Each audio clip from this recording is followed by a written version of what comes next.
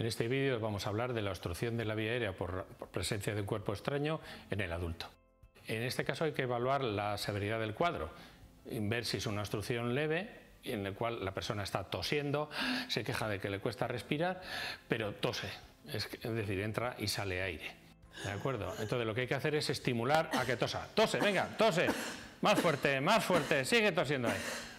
Vale, hay que seguir estimulando a que tosa hasta que eh, se haya resuelto el caso. También se podría ayudar en este caso de golpes en la espalda, ¿vale? entre las escápulas para ayudarle a aumentar la presión intratorácica y que salga el cuerpo extraño.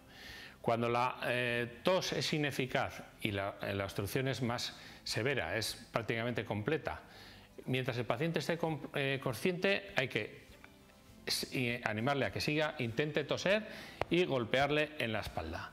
Cinco golpes. En el caso que eh, no funcione eso, habría que hacer la maniobra de Henrys, que son las compresiones abdominales.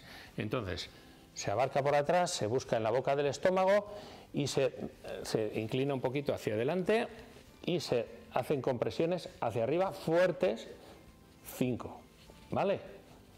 En el caso que la persona haya perdido el conocimiento, eh, hay que dejarla en el suelo y tratarla como una reanimación cardiopulmonar. Y habría que realizar compresiones torácicas y o compresiones abdominales poniéndose eh, ahorcajada sobre el paciente y empujando la boca del estómago hacia arriba, hacia dirección a la cabeza.